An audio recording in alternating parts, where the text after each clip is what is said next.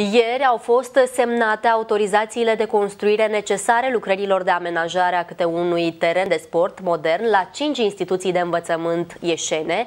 Școlile care vor avea teren de sport sunt Aleco Russo, Ștefan Bârsănescu, Gheorghe Brătianu, Liceul Economic de Turism și Colegiul Tehnic IC Ștefănescu. Valoarea totală a devizelor generale pentru cele cinci terenuri este de aproximativ 2,5 milioane de lei fără TVA. Firma care va câștiga licitația va avea la dispoziție șase luni de la semnarea contractului uh, pentru a finaliza lucrările. Uh, toate cele cinci terenuri vor avea formă dreptunghiulară cu lungimea de 40 de metri și lățimea de 20 de metri.